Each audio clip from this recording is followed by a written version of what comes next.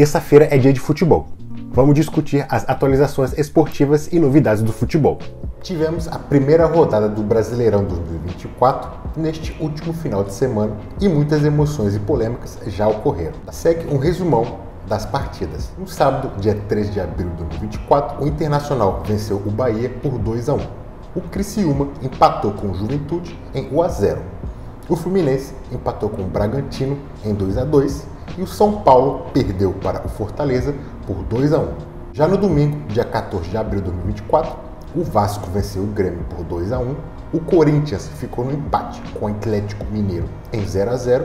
O Atlético Paranaense goleou o Cuiabá por 4 a 0. O Atlético Goianiense perdeu para o Flamengo por 2 a 1. O Cruzeiro venceu o Botafogo por 3 a 2 e o Vitória perdeu para o Palmeiras por 1 a 0.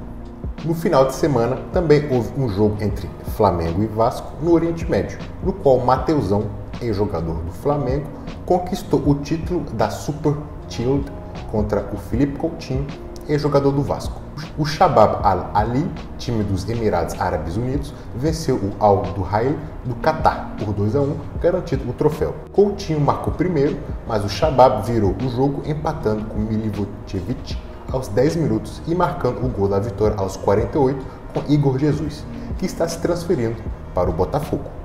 O Mallorca condenou um gesto racista de um torcedor no estádio Son Moix durante um jogo contra o Real Madrid. O clube está colaborando com a Polícia Nacional para identificar o responsável e ativou o protocolo contra a violência no futebol. O torcedor flagrado é menor de idade. E também houve um incidente com uma garrafa de água na mesma área da arquibancada. O futebol espanhol tem enfrentado vários casos de racismo, com Vinícius Júnior sendo uma vítima recorrente.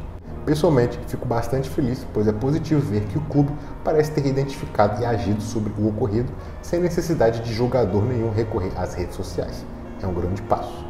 O Bayern Leverkusen, sob o comando do técnico Xabi Alonso, conquistou pela primeira vez o título da Bundesliga, tornando-se uma sensação no futebol europeu nesta temporada. O clube apostou no jovem treinador espanhol para desenvolver um novo estilo de jogo e liderar um projeto de reformulação após terminar apenas em sexto na temporada anterior. O sucesso da campanha histórica pode ser atribuído a cinco fatores essenciais: montagem do elenco, tática, equilíbrio, desempenho em casa e as referências de Xabi Alonso, que já teve experiência trabalhando com grandes nomes do futebol como Pepe Guardiola e José Mourinho. Agora falando do seu rival, o Bayern de Munique, depois da saída confirmada de Thomas Tuchel no final da temporada, o clube considera Zinedine Zidane como uma opção para assumir o comando da equipe. Segundo o jornal espanhol Marca, o clube entrou em contato com o empresário do francês para avaliar seu interesse em trabalhar na Alemanha. Zidane, que não treina nenhuma equipe desde que deixou o Real Madrid em 2021, expressou recentemente seu desejo de retornar ao trabalho em breve. É isso por hoje, pessoal. Se gostou das atualizações sobre futebol, não se esqueça que eu tenho um canal no YouTube. Passa lá, deixa aquele like, inscreva-se para não perder nenhum lance na próxima terça-feira.